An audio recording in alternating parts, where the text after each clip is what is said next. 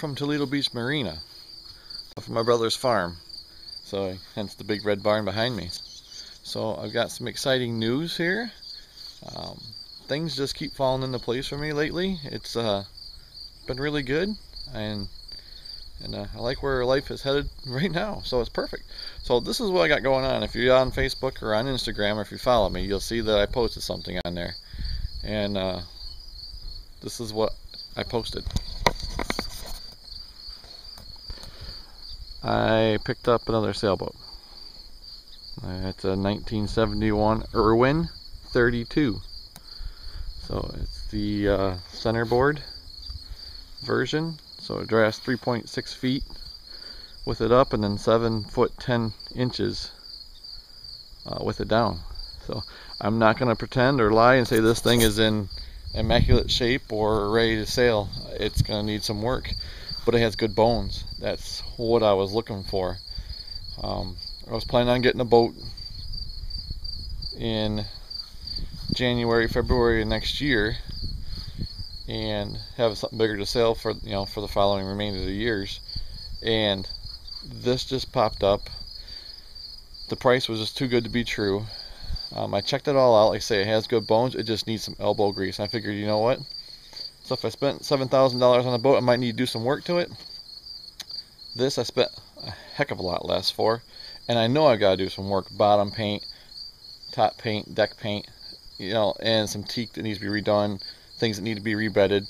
I might have to do it with the other boat anyways. I have to replace all the lines, um, sheets and halyards. I'd do it anyways, just so it's just peace of mind. But I figure I'm going to save myself some money in the long run. So, but like I say, it's not perfect. I haven't cleaned it at all. It's almost basically the way it was when I picked it up. I've gone through the cushions and I've gone through the storage and been finding little treasures here and there. Um, and that's what we're doing today. I'm gonna gut it out of here, get everything out, the cushions out, everything that's in there out, and then um, start cleaning. So, but follow along as we take this journey into this old Irwin 71 32. So you can see the cockpit is full of stuff, uh, lines and stays and shrouds. And what my brother and I did last night is we tried to start the engine or to see if we had the engine would crank over. And that's why you see these items sitting in here because we just hooked a jump box to it. And yes it does crank over. Didn't try to start it. Turned the fuel off to it drained the bowl just to see if the starter was still working well we can start with the how about the deck first so you can see my toe rail is teak and is in need of repair and oil. You can see the track there for the um, the jib and Genoa. Here, there's some damage here. So I knew this going into it that it probably have to be replaced, but you know what? It's just wood. And on the other side of this big barn is another big barn, and inside that big barn is a full woodworking shop. So my brother has, he can do whatever you want him to do. He's got everything to do it. So I know I'm, I'm safe there, just planers and, and whatnot. So I've got a boom, and this is the rolling boom or reefing roller boom. So, and that was in good shape. If we follow along, there is no soft spots on the deck. That's one thing I checked for. I want, I say, I wanted good bones. Um, and she has good bones. No soft spots in the deck, no uh, soft spots in the hull. You know, tapped on with a rubber mallet, listening for that that tone. So nothing there. Had one item that I really wanted, which is a roller furling. Really, really, really wanted that. So, so if we walk along here, you can see we go right through here. The mast is in decent shape. The spreaders need to be replaced. Um, if you hop up top here, you can see that this poor spreader has had it. So did some research on there. I could get some aluminum ones made, but I could also make some new wood spreaders, which I'm probably going to end up doing it that way. They worked back then. They worked all these years. So I figure why not? Shouldn't hurt too bad. Uh, I still have a bunch of cushions what I used when I tied this thing down on deck. We'll come back here. I'm going to try to get this mast off too. Of course, not by myself, but with some help. But you can see all the paint. This was put on in 1999, I believe. I have a couple surveys that were done. That's all coming off. I don't know if it's even the right paint. It has two speed winches, which is nice. And they work. They seem to be pretty tight.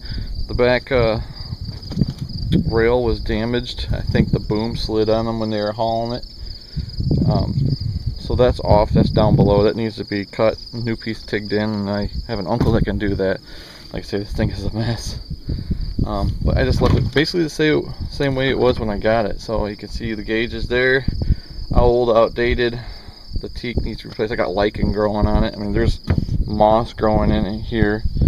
Um, the bilge is dry for the most part. There's a section of it where there's holding just a little bit of water, but nothing biggie.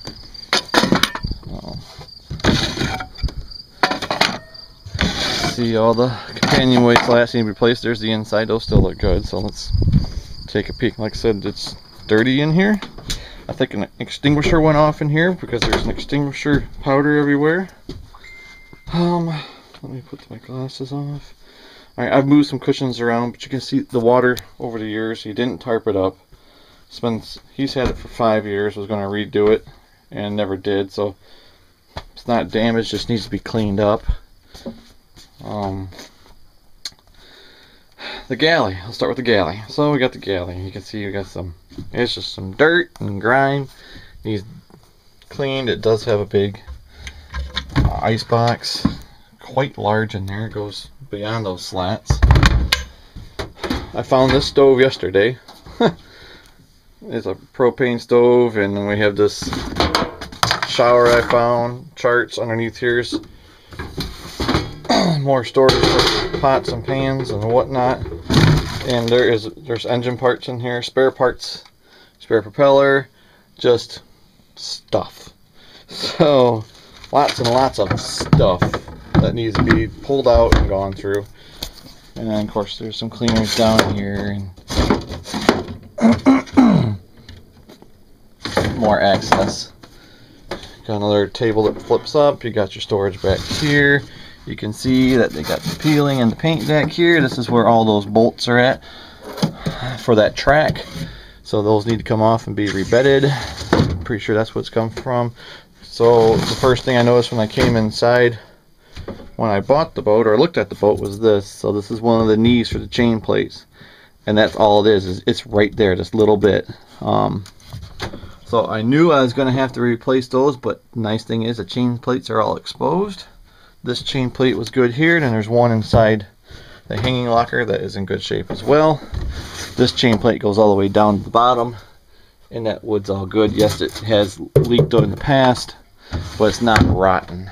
Um, you can see the cushions, the white powder. That's what I was trying to figure out when I looked at the boat the first time what the powder was. And when I moved the cushions and it floated up in the air and I breathed it in, I knew right away it was extinguisher. And it's missing an extinguisher.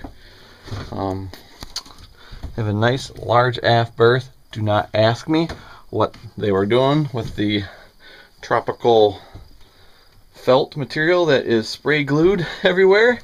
But um, yeah, that's got to go. And this blue paint's got to go. That box needs to be redone. Um, once again, that's leaking.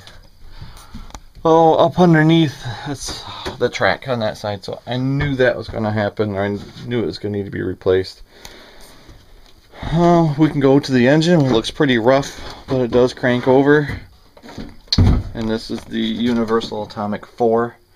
35 horse engine is what it's been told in the surveys so it does when I looked at it it did crank over some people at work asked me like well hey what happens if uh, the engine doesn't work well nice thing is I can rebuild it they do have the parts and someone said well what if you couldn't rebuild it in time for next year which should be able to if it needs to be done. But so far, it's cranking over well. I got to do a compression test. But I said, you know, worst comes to worst.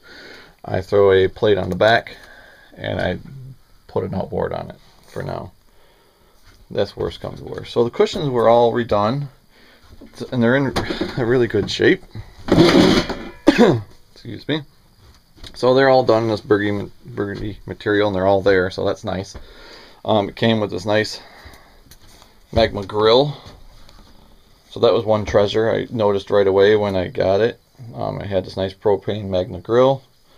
It has a 750 watt uh, inverter in here. No, see, excuse me, 1750 watt inverter inside there. That looks new. It does have a full head. So, nothing special there. They put this lattice work down underneath the carpet on the floor. Is this lattice work too? I don't know what that's for. Um, maybe just to keep the floors clean and maybe keep the carpet off the floor. I'm not certain. They have a medicine cabinet in here that's seen some better days. That's gonna go. Obviously that was aftermarket, doesn't have a latch to hold it on. The ports are all tiny little ports. You can see them. I want to replace those with opening ports this winter. Uh, the V-berth. We're getting kind of dark in here now, so open this hatch, let some light in. Only goes so far because it hits the boom. But once again, tropical felt. So we got a little bureau here, which is nice. Underneath the V-berth is a, you can see the hole there, that's the holding tank that was installed, 25 gallon holding tank. It does have this nice teak, which is in good shape all the way around, other than needing a little scrub. Um, I mean, all in all, the boats needs some love. We'll just call it love. It just needs some love. You know, hanging locker here. You can see one of the chain plates right there. It's that one's leaking. That wood's not rotten. So, I mean, that's good. I can clean that all up and get that surface all taken care of again. And here's the drain to pump out for the holding tank. Under the double berth in the settee here is a 27 gallon water tank. And that's about it. That's the initial walkthrough of this 71 Irwin 32 like I said needs work. I'm not afraid of work. I can do everything um, that needs to be done. So today I am pulling cushions out cleaning all the drawers out getting my shop vac in here, sucking everything out of here.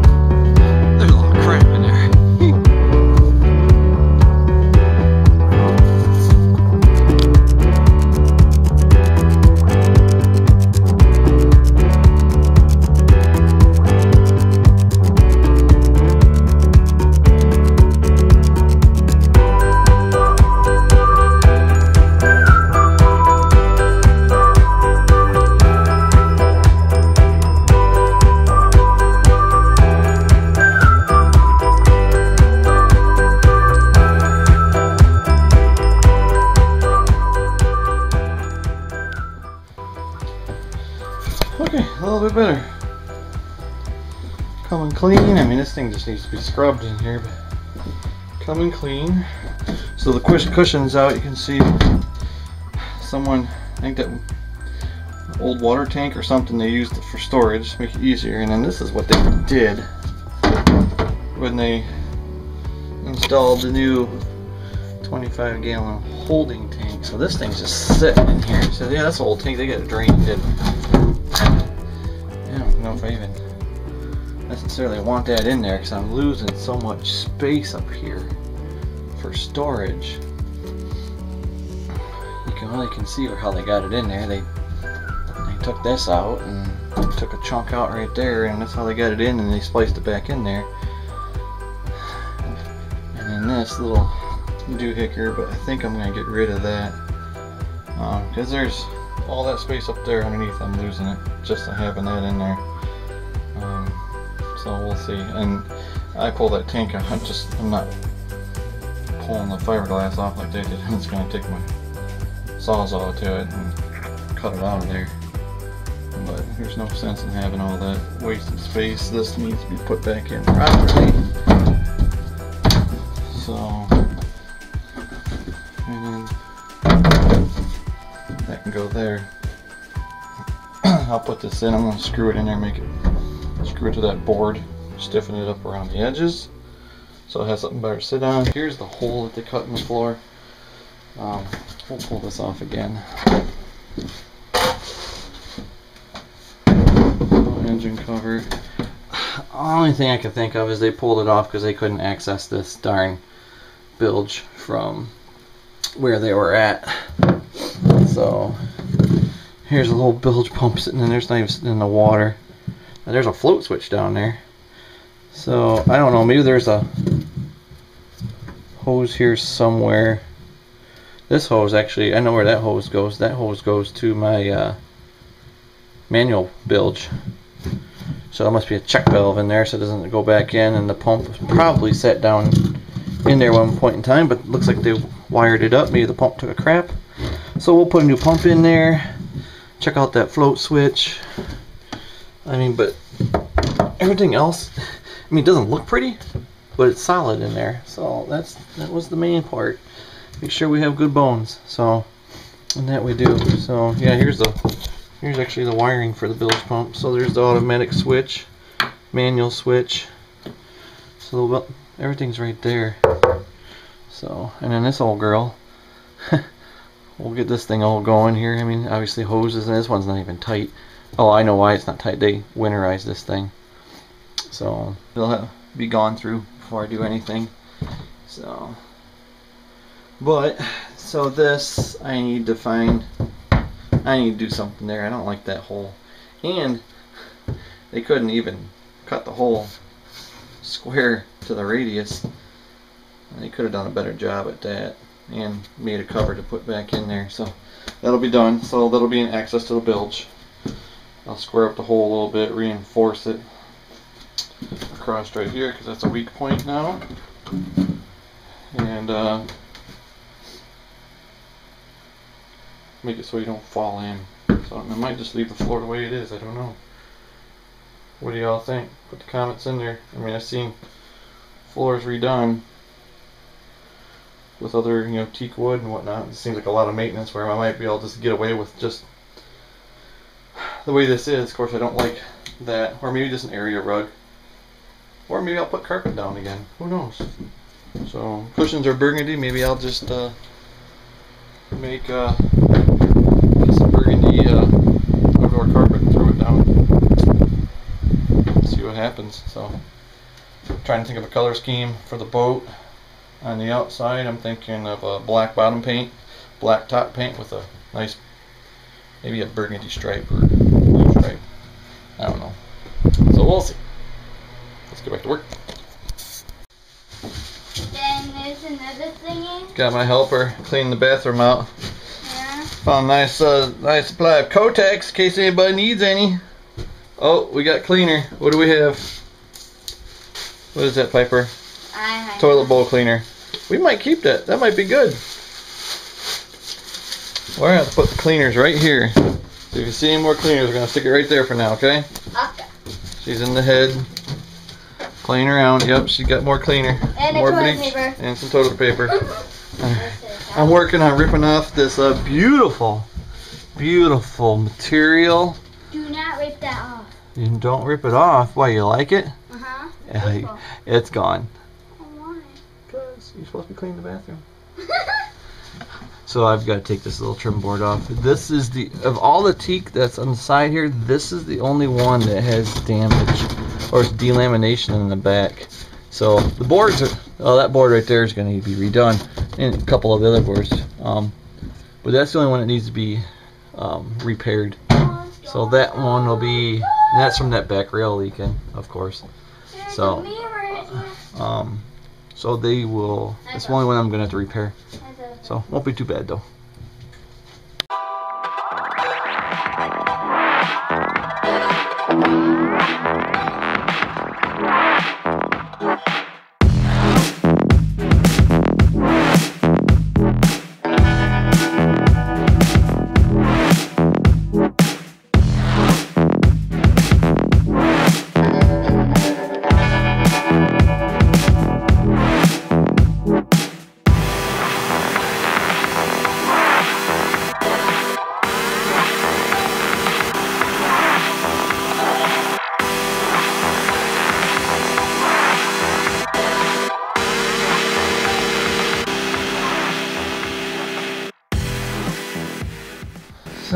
Gotta do a little cleaning in here.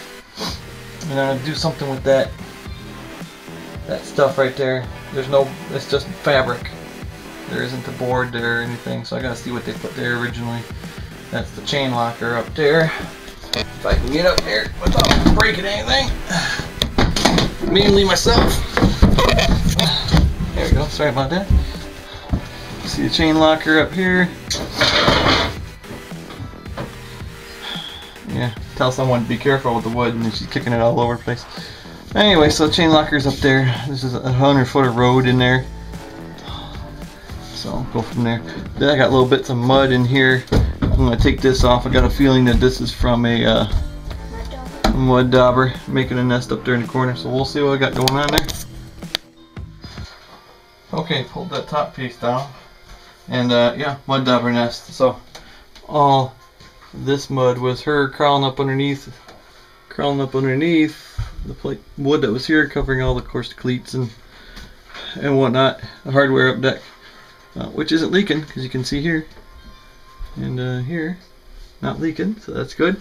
Um, but yeah if you can see that nest doesn't have any holes in it. That means there's there's babies in there so I'm gonna take that off and scrape it outside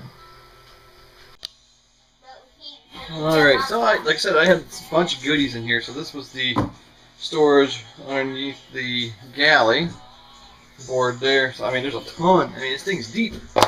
It's not small. It's huge. It goes all the way back there. So I've got so goodies. I, like I said, there's a fillet knife and fish hooks. This little emergency light, but there's spare parts in there. There's a carburetor back there. There's an extra prop back there. Um, some hanks in there. There's a bowl for the um, carburetor. Um, just PC parts here and there. So I'm gonna dig those out of there.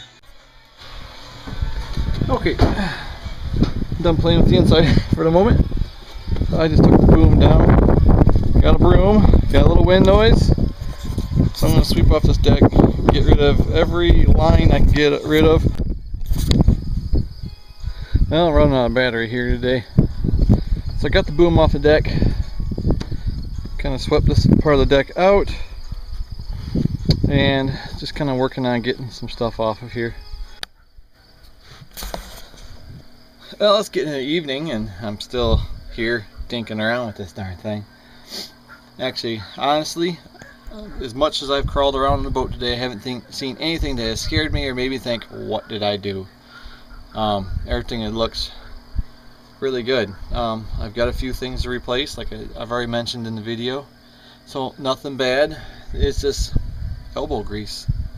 A lot of work that someone just didn't want to do anymore or didn't have time for, and other people just didn't. They looked at it and just saw too much work. And reality, I don't think it's going to take that long to get everything done.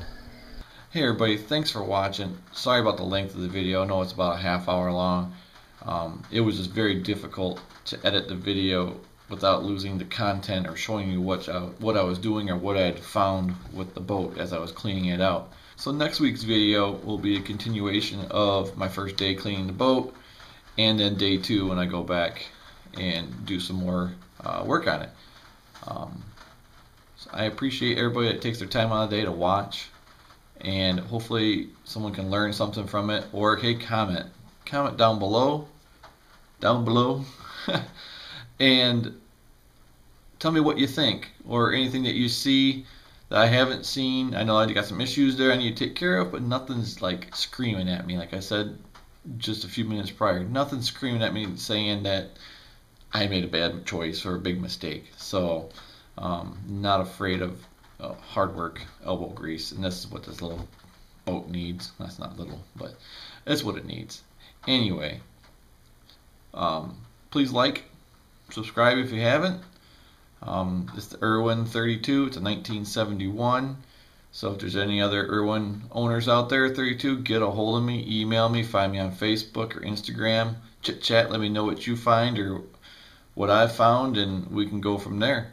Other than that, thank you very much. I pre- appreciate everybody that watches and likes my videos. Hopefully, they get better in the future. Have a good day.